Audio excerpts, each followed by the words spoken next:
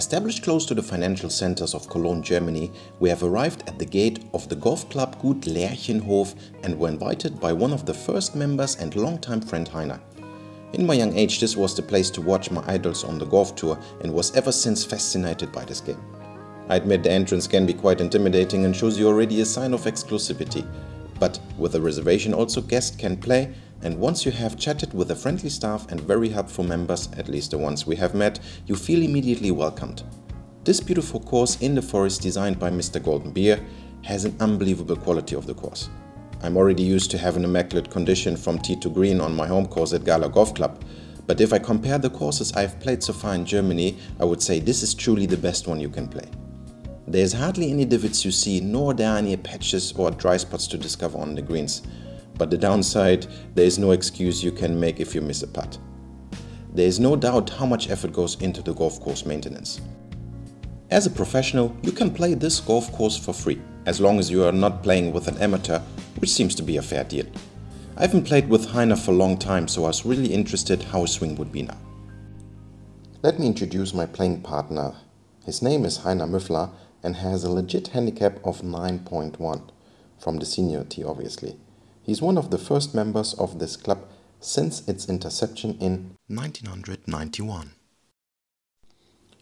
I was quite impressed by his unique golf swing and was looking forward to start our round.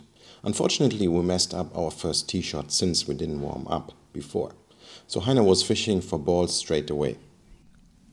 As you can see, his backswing is quite shallow, which can result hitting it before the ball. His setup position for the ball is always on the toe to avoid shanks and doesn't need difficult swing adjustments. Genau.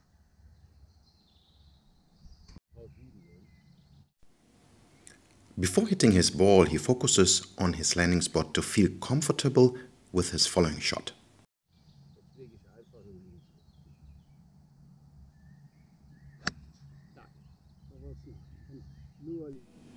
His eyes are set nicely over the ball and maintains this position until the ball comes to rest. Der könnte, der er könnte, der er könnte. Ja. Jawohl. Er to hit out from the rough, you should hit more down on the ball and swing a little steeper. If you feel the ball has settled very deep in the rough, just take a club which has a little bit more loft, like a sand wedge or pitching wedge, and get it back first on the fairway.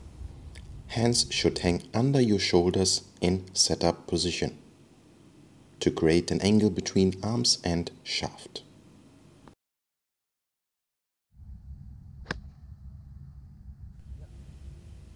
Heiner was expecting a draw but couldn't swing enough from the inside, so he ended up pin high on the right. His target orientation is set up nicely towards the left, because he anticipates a fade which is a common ball flight for him. Anticipate your common ball flight to align yourself properly to avoid rough, water, bunkers and other obstacles. Heiner doesn't have a swing from the books, but is very consistent to replicate each and every shot. Have your own swing and don't copy a swing you have seen from your favorite tour player. Try to stay balanced in the finish position in order to have a better ball striking.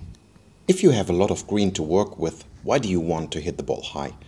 Instead, let the ball run to the hole, which reduces straight away the chances of doing a costly mistake. And keep in mind there are no extra points if you hit the ball extra high. I know aligning the ball every time to the target can be annoying sometimes during a friendly round, but I can tell you it has worked out wonders for my students in the past. Take advantage of this legal cheating method and sink more putts in the future. Reading a green perfectly is nearly impossible, but checking the break behind the hole can make you understand to see different angles better. Think out of the box and get longer putts closer. It's not about sinking 10 footer every time, it's more about getting long putts close to the hole for a safe 2 putts. Soon you will see how many putts you can save during a round of golf.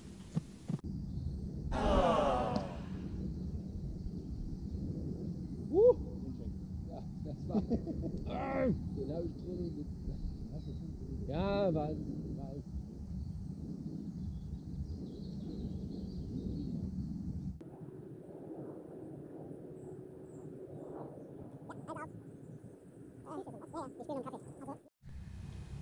I recommend to have always a little wiggle in the hands like Heiner. This helps us to become less tense before executing the shot.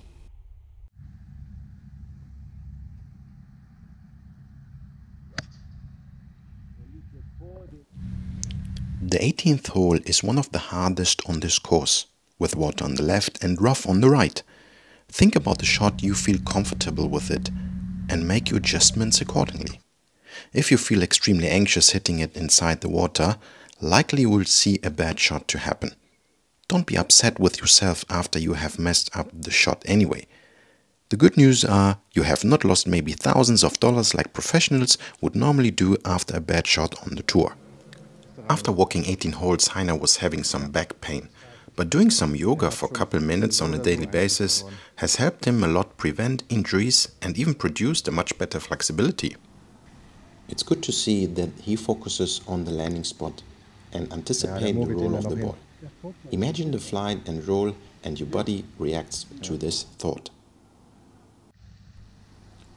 This was my final putt to have a tie with Heiner today and earn my coffee. But he played so consistent from the senior tees, which made it hard for me to beat him. So I enjoyed my round with him on this extremely well maintained golf course and look forward to our next round. Thank you, Heiner.